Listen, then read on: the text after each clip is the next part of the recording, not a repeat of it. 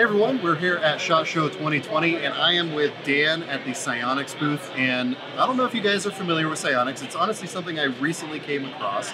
Um, but basically you guys are offering uh, both daytime cameras and night operating cameras um, in a very nice form factor with a lot of different utilities, and we're going to be kind of focusing on one of those. But Great. for maritime stuff, uh, just recreational like action camera stuff with night operating capabilities, um, now color night vision. Um, but kind of get us from the beginning. Who is SiOnyx, and how did you guys get into what you're doing now? Sure. Well, SiOnyx actually started in 2006 timeframe. Okay. Uh, there was a there was a PhD student out of Harvard at the time, Mm-hmm. and um, our founder of the company, the, the CEO currently, uh, met those folks, and we put the company together from there and Okay. started growing it. And so, what was your guys' first um, product as far as like the cameras? So the company primarily started as a semiconductor company. Okay. We made the sensors. So Okay. we own the sensors, we have patents on the sensors. So we control our destiny as far as what products we want to put out there. So sometime in the 2013 timeframe in, in there, they decided that uh, they actually wanted to create product, and user product as well. Okay. Um, so they took some of the, they started design work on cameras, and uh, we launched this, uh, you know, back in 2017, Okay. 2018. And so, you guys started with like the Sport and the Aurora, um, or at least those are your kind of models that have been around for a little bit now. Right. But now with Shot Show, you guys are announcing the Pro. That's correct. So, what kind of sets the Pro apart from kind of your other products you've had already, and especially compared to some of the other products on the market? Yeah, so as a, since like I said, we control our own destiny because we manufacture and design the sensors. So as, a, as any sensor or any product company does, we innovate. Mm-hmm. So we, we are constantly innovating our technology, and when we create a new sensor that we can use for a next generation camera, we put that in there. Okay. So we've taken, we've gone from the, the first generation sensor that we announced with, with the white camera and the other black camera, mm-hmm. the Sport and the Aurora Classic, and we created a new sensor that we're putting into the Aurora Pro. Okay. And so, what kind of features, if people aren't familiar with the SiOnyx cameras, what kind of features does this give the end user?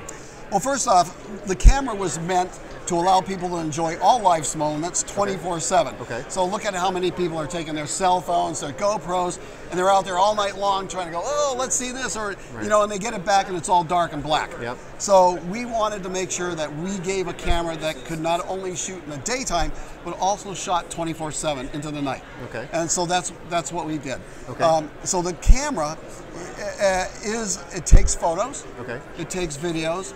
It has time lapse photography on it as well. It also does a thing that we call event triggering. So if I have it mounted on a rifle, as an example, and I take a shot, it will give you up to 30 seconds on either side of the shot. Oh, really? Okay. So you don't have to sit there and hit the record button. I'm going to shoot. Right. Okay, hit the record button. Awesome. Um, so just that kind of leads us into where I wanted to go because kind of my, my whole reason of being interested in SiOnyx is the more kind of tactical aspect of it, and being able to integrate it with using as a rifle mount or using with a helmet mount. Sure. And so obviously we have it set up here. You can just use this with a standard optic. You get, has a rail mount. You can Yeah, run we, we, we never built it uh, to actually be a, a rifle mountable device. That was not the intent. But as soon as we launched it, so many customers started mounting it to their rifles. So the next thing we did is we actually made a Picatinny rail mount. And, uh, and the Picatinny rail mount was meant so that we had a, it fit most of the tactical scopes. Okay. So this is an inexpensive Chinese scope. Sorry, I don't have something better on here to show, but but it demonstrates the concept. but it de- demonstrates the concept. Yeah. It's if you look at it, it's actually an inch and a half. Our our camera is an inch and a half optical center Okay. off the rail. So most of the tactical scopes um, are inch and a half. So it fits right in front of the of the uh, scope, and it turns your day scope into a night uh, vision scope.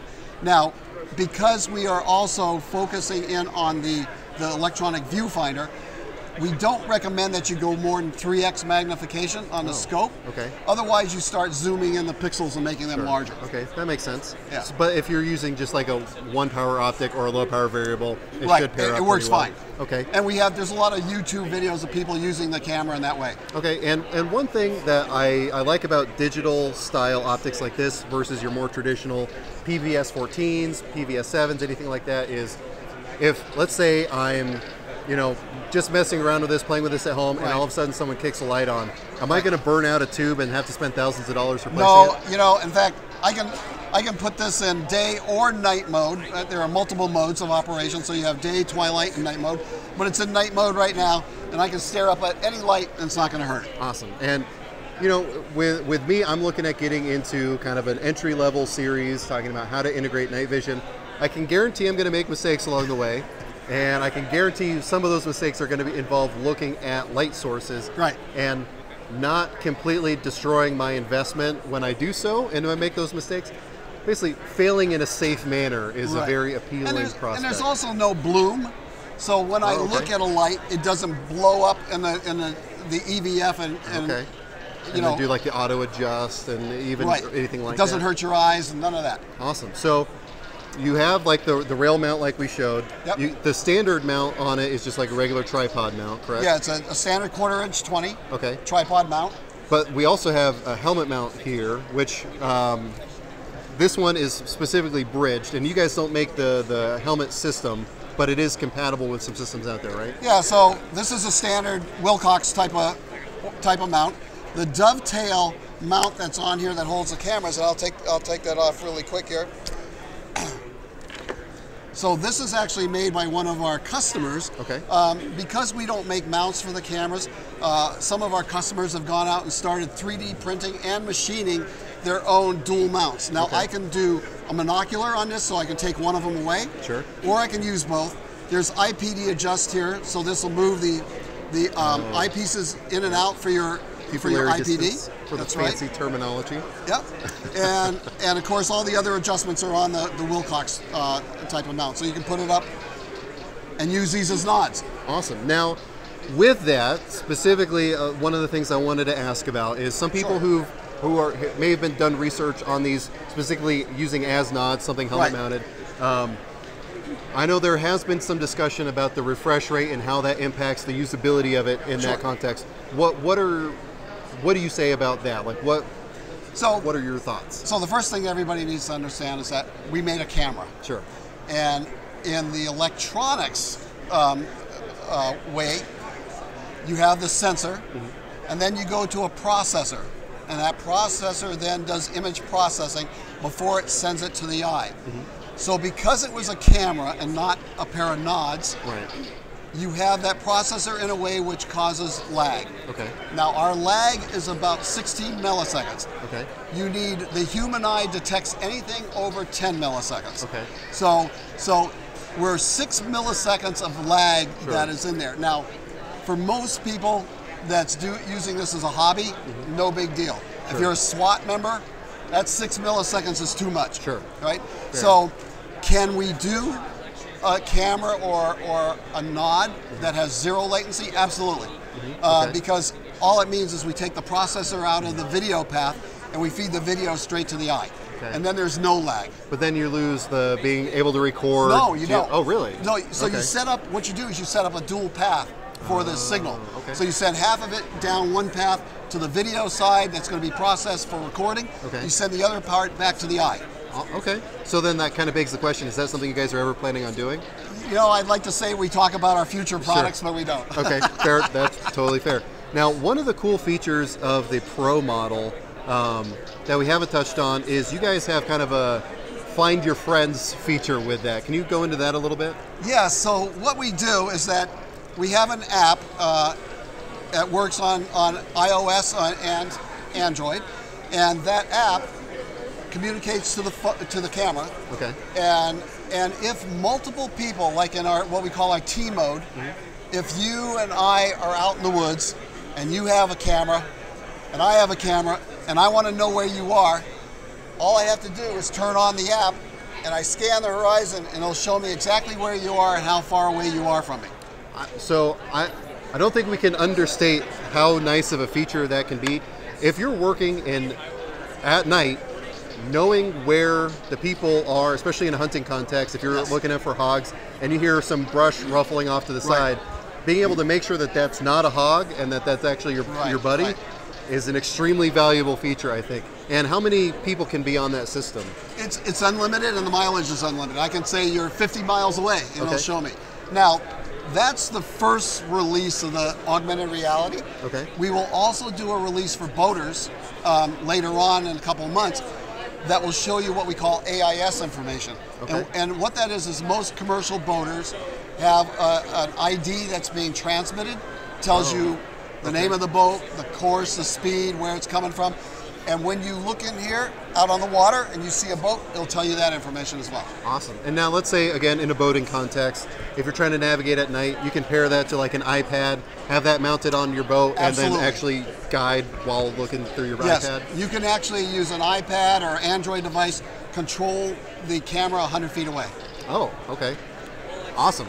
Um, so again, there's some really neat features with, especially with this Pro. Again, that being able to identify where your friends are at to me seems like a really awesome feature. It- it is. Es- especially if we're guys who are doing airsoft or something like that, knowing where your teammates are Yeah. can be pretty pretty handy. A No friendly feature. fire. Exactly. At least no excuse for friendly fire. That's right. Um, so um, that kind of functionality is something I'm really excited to see from these, and hopefully I'll be getting some actual hands-on experience with these at some point in the future.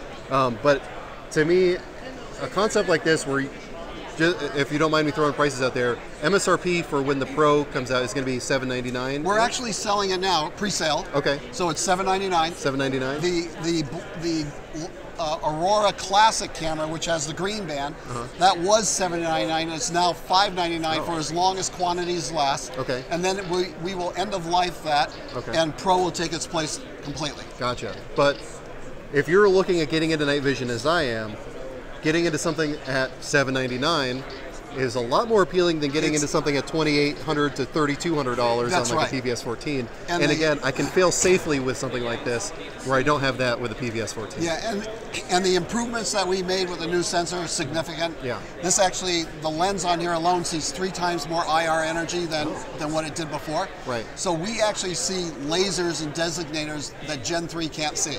Really? And Yes. that was one thing I, I'm glad you mentioned that.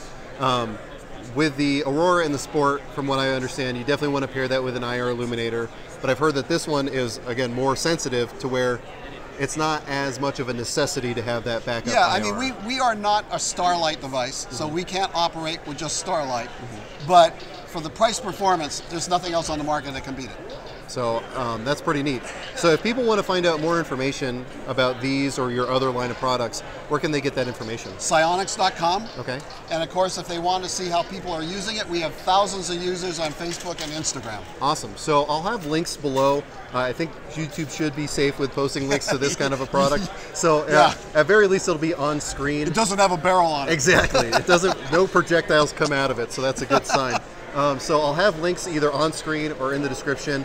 Um, I think it's definitely worth taking a look at. Again, I'm going to be hopefully taking a good hard look at these in the coming future and possibly comparing them to some of the other dedicated nods out there on the market. But kind of more on that to come as, as things get figured out on that front.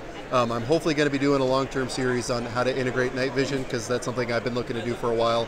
And to me, this offers a lot of awesome features that I wasn't kind of getting from some of the other options out there. But uh, anything else you want to say about SiOnyx or the products? That's, I think that's all. Okay, well, Dan, thanks, Thanks, very much Ryan. for your Appreciate Uh, we're going to be doing a lot more coverage from SHOT Show 2020, so definitely stay tuned for that.